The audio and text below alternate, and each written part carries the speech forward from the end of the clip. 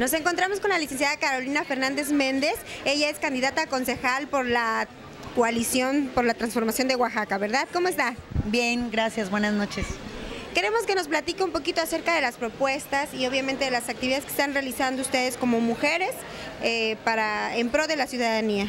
Bueno, mira, para empezar, eh, estamos nosotros formando parte de la estructura electoral a través de un programa que se llama Programa Campaña sin Candidato, en la cual se efectúan reuniones por cada sección electoral y pues obviamente se lleva el mensaje de los tres candidatos en ese momento, principalmente nuestro candidato Eviel Pérez Magaña, Gustavo Pacheco Villaseñor y Chucho Hernández, en la cual pues obviamente se resaltan los logros, el por qué votar por nuestros candidatos, el por qué la coalición por la transformación de Oaxaca es la mejor opción y pues se les otorga el mensaje, pero principalmente porque estamos totalmente convencidas acerca de los números que tenemos, que las mujeres somos las que engrosamos las, las listas nominales.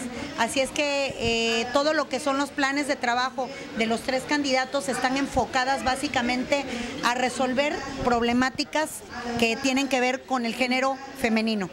Tu invitación para las mujeres y también para los jóvenes que nos están viendo a través de nuestro portal GM Noticias.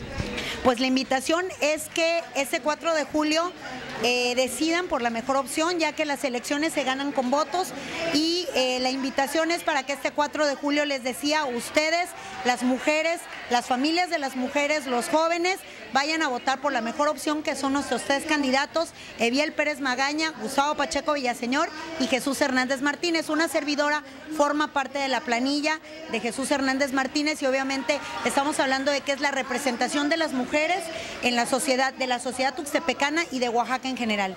Muchas gracias, Caro, y nos vemos pronto. Gracias, Aish. Reportó para GM Noticias, Aislet Alcocer.